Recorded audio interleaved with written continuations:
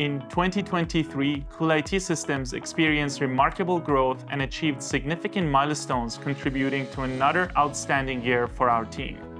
The recent expansion of generative AI led to an increase in the demand for liquid cooling. As the global leader in liquid cooling, with over 23 years of expertise, we stand poised to meet and sustain the rising demand in this dynamic market.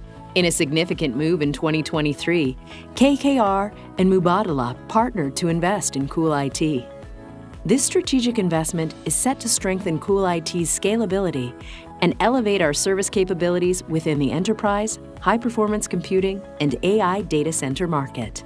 As the premier partner for major server OEMs like Dell Technologies, HPE, Supermicro, and Gigabyte, we proudly collaborated on innovative AI-ready solutions such as the Dell XE9640 liquid-cooled server, the Gigabyte G492ZL2 G-Series GPU AI server, and the Supermicro H100 8X GPU server.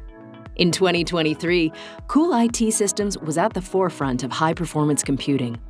Our direct liquid cooling technology powers Durham University's COSMA 8 supercomputer and supports the UK's fastest AI supercomputer, Dawn by Cambridge University. We increased our global employee headcount by 58% to better meet industry demands, enhancing our capabilities and commitment to innovation.